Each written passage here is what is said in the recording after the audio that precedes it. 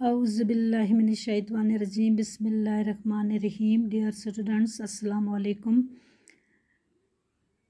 I hope you all will be fine and having good health today we are going to discuss about the chapter number five the story of the hill मैं हूँ आपकी teacher Parveen Akhtar school B M S Kandi classic subject English topic the story of the hill read and enjoy. I heard a lot about Basantkar and the environs and the designs of that area that I decided to go and spend my summer vacation there. Writer जो है मुसन्फ़ ने बसंतगढ़ के बारे में वहाँ के जो इर्द गो इर्द नवा के जो शहरी हैं उनके बारे में बहुत कुछ सुन रखा था और उसने फ़ैसला उन्होंने फैसला कर लिया कि वो गर्मियों की छुट्टियाँ वहाँ गुजारेगा when I reached Basantgarh, I felt as if I had been dropped in a bucket of cold water after having been picked out of a cauldron of boiling oil.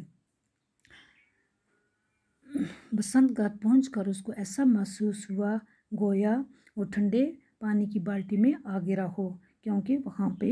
जो शहर में ज़्यादा गर्मी होती है तो वो गर्मी से निकल के आके वहाँ पहाड़ी इलाके में ठंड होती है तो वो वहाँ पहुँचा तो उसको ऐसा लगा कि जैसे वो ठंडे पानी की बाल्टी में गिरा हो।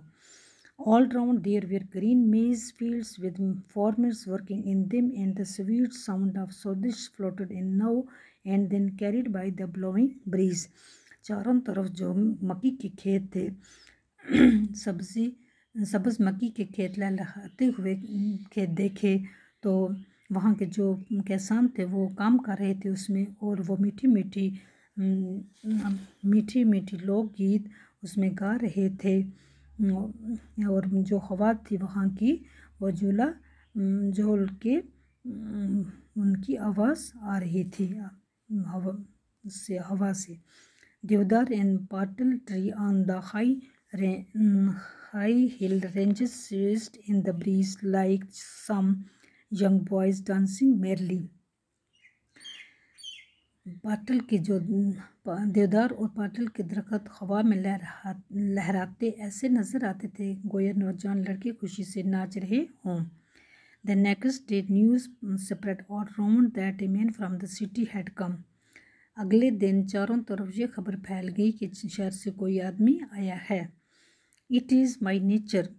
that I can not sit still at one place ये मेरे नेचर है कि मैं एक ही जगह पे नहीं बैठ सकता हूँ। I came out of the forest rest house जब मैं रेस्ट um, हाउस से बाहर आया इट इज़ रेस्ट हाउस से बाहर आया to look for suitable spot और मैंने एक अच्छी जगह देखी where I could sit and watch the spectacles of mountains जहाँ मैं बैठा और मैं उनका मंज़र देखने लगा। पहाड़ों का and if I got into the mood अगर मेरा मूड बन गया टू राइट समथिंग और मैं इसके बारे में कुछ लिखूँगा।